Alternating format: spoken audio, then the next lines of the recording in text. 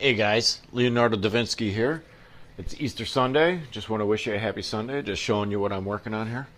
Just uh, chilling around the house, and uh, wish I was doing something more important, but or better. Wish I was hanging out with my family or friends or something. But unfortunately, you know,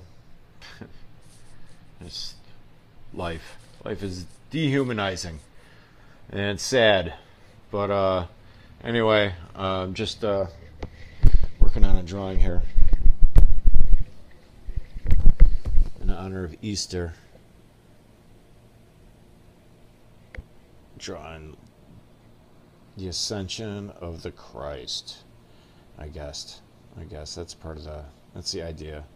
Not quite done with it yet, but so far I think it's turning out pretty good. I'm liking it.